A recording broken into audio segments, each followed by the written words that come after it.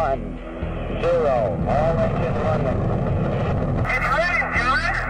Okay, let's go. Would you, Charlie? You got all your steering. It's great. Oh, this is going to be some kind of different ride. The moon is Earth's constant companion. However, there's a lot we don't know about this natural satellite of our planet. However, thanks to recent advances in technology, we're getting more facts about the moon, including the first real photos that suggest people live on the moon. Who lives on the moon, and how were we able to finally find out? Stay tuned as we bring you details of the latest discoveries from the other side of the moon. A little known fact about the moon is that from the Earth we only see one side. Why is this? The answer is fascinating and boils down to a term called tidal locking. Imagine a cosmic dance between the Earth and the Moon where over billions of years they've synchronized their steps in such a perfect way that one side of the Moon always faces us. Interestingly, initially, our Moon didn't always show just one face to Earth. In its younger days, it rotated more rapidly on its axis. However, Earth's gravitational pull exerted forces on the Moon, creating bulges on its surface. As the Moon rotated, these bulges tried to align themselves with the Earth, but due to the Moon's initial spin, they were always a bit behind. This mismatch created what we call tidal torques, slowing down the Moon's rotation bit by bit.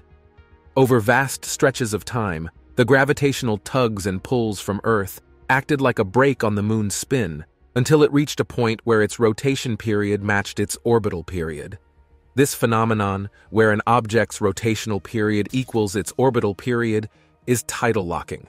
The result of this cosmic dance is that the same side of the moon, the near side, always faces Earth, while the other side, the far side, usually called the dark side, remains hidden from our view. In fact, humans didn't get their first glimpse of the far side until 1959. It was an epic moment in space exploration. In case you are wondering if this means the moon is stuck in this position forever, the story gets even more captivating here. The same forces that caused the moon to become tidally locked with Earth are also causing the moon to slowly drift away from us. Each year, the moon moves about 3.8 centimeters farther from Earth. Over millions of years, this can result in significant changes. While the moon's motion away might alter dynamics in the far future, for the foreseeable time, we will continue to see that familiar face of the moon looking down at us. And while we're on the topic, Earth is not immune to these effects either. The same tidal forces from the moon are acting on Earth, gradually slowing our planet's rotation. Eventually, billions of years from now, Earth might become tidally locked to the moon. However, by that time, other significant cosmic events might have already reshaped our solar system. But when did we get our first detailed view of what happens on the dark side of the moon? This is where things get really interesting. The first person to see the dark side of the moon was Michael Collins, the command module pilot of Apollo 11, the first crewed lunar landing mission. Collins was one of the three crew members of Apollo 11, along with Neil Armstrong and Buzz Aldrin, who made history by landing on the moon on July 20, 1969. However, Collins did not join his colleagues on the lunar surface. Instead, he stayed in lunar orbit, piloting the command module Columbia, while Armstrong and Aldrin descended to the moon in the lunar module Eagle. Collins had a vital role in the mission, as he was responsible for maintaining contact with Earth and ensuring that Columbia was ready to rendezvous and dock with Eagle when it returned from the moon. He also performed scientific experiments and observations from orbit, such as taking photographs and measurements of the lunar terrain and environment. However, his most remarkable achievement was being the first human to see the dark side of the moon with his own eyes. As Columbia orbited the moon, Collins experienced periods of radio silence when he passed behind the moon and lost contact with Earth. During these periods, he was alone and isolated from his crewmates and from humanity. He later described this feeling as awareness, anticipation, satisfaction, confidence, almost exultation. He also said that he felt not lonely, but rather very much alone. During these periods of solitude, Collins had a unique opportunity to witness something that no one else had ever seen before the dark side of the moon. He described it as a stark and lonely place that was three times as rugged as that side of the moon which we see from Earth. He saw craters, mountains, valleys, and plains that were untouched by human exploration. He also saw stars that were brighter and more numerous than on Earth, as there was no atmosphere or sunlight to obscure them. Collins also saw some features that were unique to the dark side of the moon. He saw the South Pole Aitken Basin, which is the largest and deepest impact crater on the moon. It is about 2,500 kilometers across and 13 kilometers deep. It is so big that it covers almost a quarter of the dark side of the moon. Collins also saw the lunar far side highlands, which are a region of highlands that cover most of the dark side of the moon. They are composed of anorthosite, a type of rock that is rich in calcium and aluminum. Collins also saw some smaller craters that had interesting names, such as Tsiolkovsky, Korolev, and Leibniz. Collins was awestruck by the beauty and mystery of the dark side of the moon. He later wrote, The thing that really surprised me was that it projected an air of fragility, and why I don't know. I don't know to this day. I had a feeling it's tiny, it's shiny, it's beautiful, it's home, and it's fragile. He also said that he felt a connection with the moon, as if it were a living being. I really believe that if there are some cosmic bakers out there in space who are cooking up this enormous universe for us to live in, they started with a huge ball of dough and they are still pinching off little pieces here and there. And one day they pinched off a piece which eventually became Earth, and then they pinched off a smaller piece, which became our moon. Collins orbited the moon 30 times during his solo flight, spending about 48 minutes on each orbit on the dark side. He took hundreds of photographs and recorded his observations and impressions on a tape recorder. He also made sketches and notes on maps and charts. He later shared his findings and experiences with scientists and the public, contributing to our knowledge and understanding of the moon. There is, however, one allegation that has refused to go away, not all the details or findings from the dark side of the moon have been publicly shared. For instance, one of the most intriguing and controversial claims about the moon landing is that Neil Armstrong and his crew were not alone on the lunar surface. According to some sources, they were being watched by unidentified flying objects or UFOs that were hovering above them. These sources also claim that Armstrong reported this sighting to NASA via radio, but that the transmission was censored or distorted by the agency. One of these sources is Otto Binder, a writer and former NASA employee. He claimed that he had access to a secret NASA tape that recorded the conversation between Armstrong and Mission Control during the moon landing. He said that he heard Armstrong say, These babies are huge, sir. Enormous. Oh God, you wouldn't believe it. I'm telling you, there are other spacecraft out there, lined up on the far side of the crater edge. They're on the moon watching us. Another source is Maurice Chatelain, a former NASA communications engineer and chief of NASA Communications Systems. He claimed that he was in charge of designing and testing the Apollo communication and data processing system.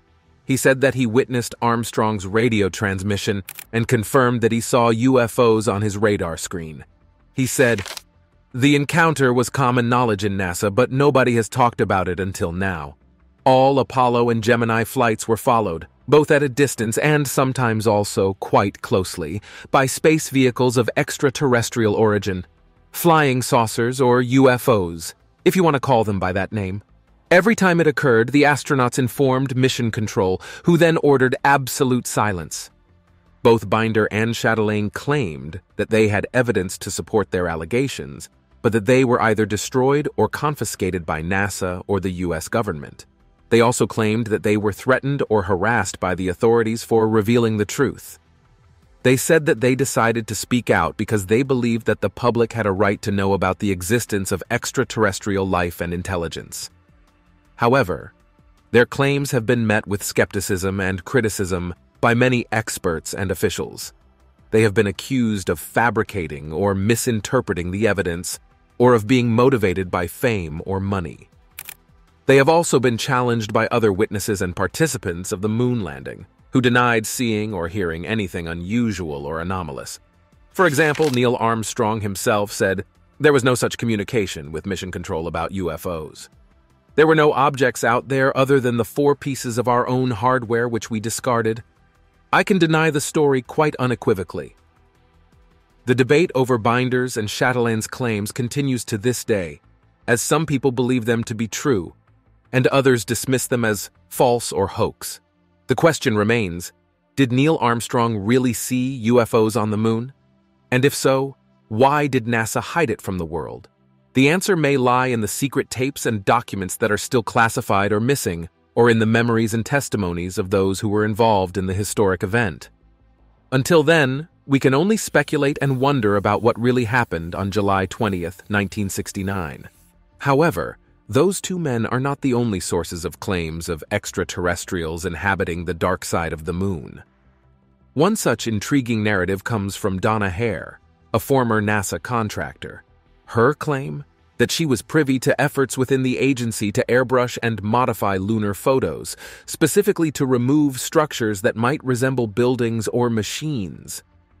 Donna Hare's association with NASA wasn't something minor or fleeting. She worked as a technical illustrator and draftsman for a contractor at the Johnson Space Center in Houston during the early 1970s. With security clearances that allowed her access to various parts of the center, she wasn't just a casual outsider.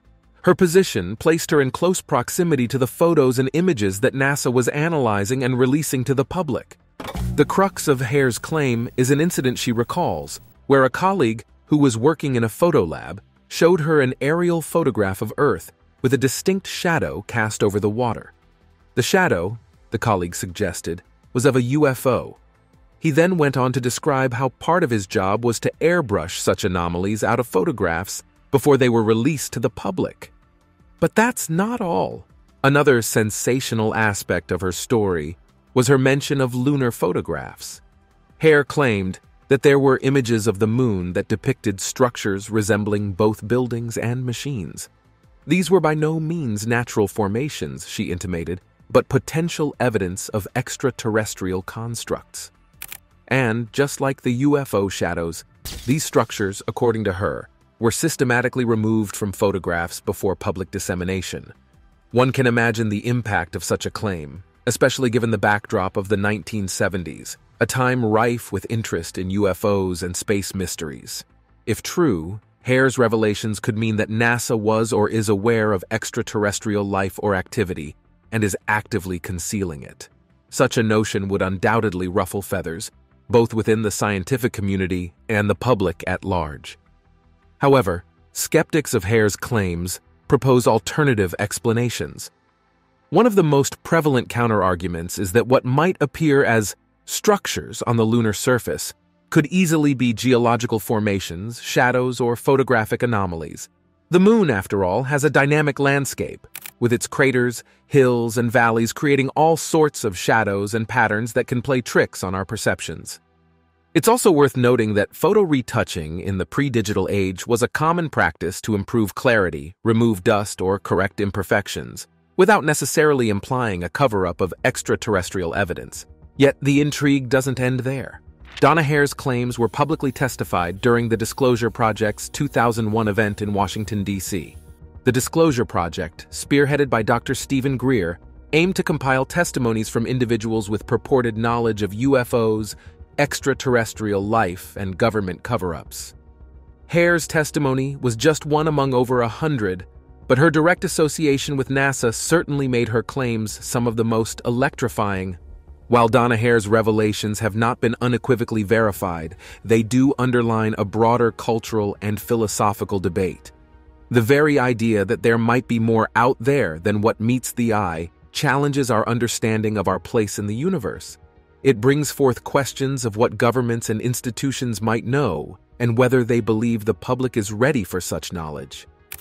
In the realm of space mysteries and conspiracy theories, Donna Hare's narrative is just one tantalizing puzzle piece. For believers, her claims might offer a hint of a much larger and concealed picture.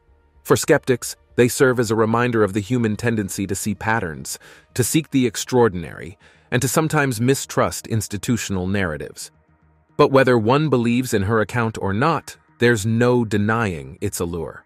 We're talking about the possibility of structures on the moon, machines, buildings, the potential artifacts of an alien civilization or perhaps even ancient human endeavors. The very thought sends shivers down the spine. It challenges our knowledge, our history, and our very beliefs about life beyond Earth. Whether fact or fiction, Hare's story keeps us looking up, wondering, and questioning, which, if you ask me, is a fantastic thing for humanity. After all, space is the final frontier, and its mysteries are endlessly beguiling.